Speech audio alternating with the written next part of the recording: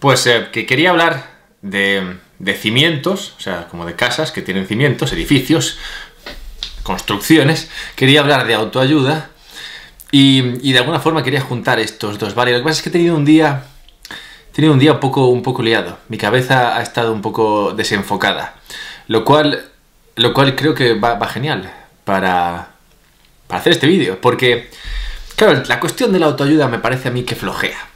Flojea en muchos aspectos, pero flojea concretamente en que, a mi entender, es un poco superficial. Ayuda en varias cosas, es como el diseño de interiores.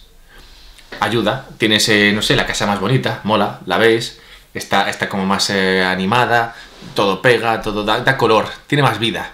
Y, y es importante. O sea, la autoayuda nos ayuda, y hay miles de libros para esto, nos ayuda a tratar de poner, usar otras lentes a la hora de mirar a tu vida, ¿vale? Al final, la, vida es un poco como la mires tú y, eh, la mayoría de libros de autoayuda al final lo que hacen es que dan vueltas alrededor de la idea de cómo puedes mirar la vida y verla de otra manera.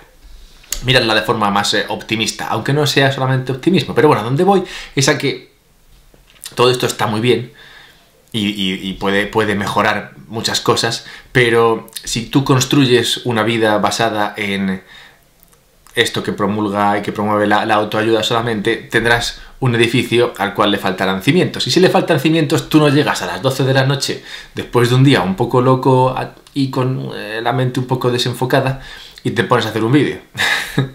no. El vídeo sale si los cimientos están sólidos. Y lo del vídeo aquí es una metáfora, no es que, no es que el vídeo sea importante. A donde voy es a que el vídeo es, eh, bueno, digamos, algo importante para mí y que ocurre sí o sí. Y ocurre sí o sí porque no me hace falta depender de la motivación o de ninguna frase guay que me ayude a hacer el vídeo.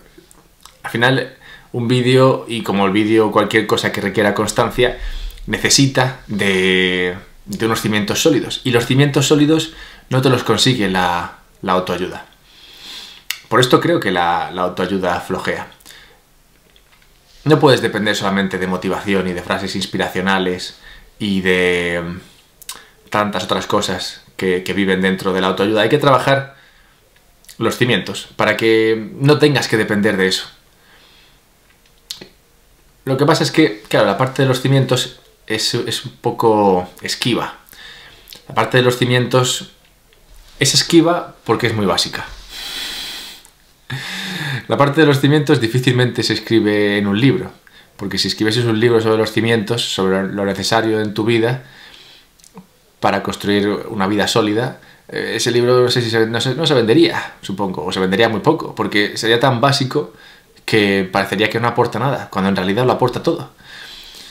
Los cimientos son simplemente el, eh, el ser constante en lo que haces, el ser, ser disciplinado y el sentirte responsable de tu vida. Si tú tienes esas tres cosas, bueno, o si tienes solamente la responsabilidad, eso conllevará todo lo demás. Y el ser responsable de tu vida, no sé por qué no suena bien. no, se, no se vende fácilmente. Últimamente parece que se empieza a vender esta idea, gracias a libros como los de Jordan Peterson y demás, pero como idea no se vende bien. El hecho de que tú seas responsable de lo que te pase, eh, cuesta, cuesta venderlo. A la gente no le gusta, supongo, porque si le gustase lo compraría en un libro, pero no lo compra. Si le gustase, lo compraría, pero no, no, lo compran, supongo porque no les gusta saber que la culpa de que su vida falle es suya. Supongo que mola más pensar que lo que te falta es motivación o inspiración o un momento creativo. no sé, pero los cimientos son más importantes que, que el diseño.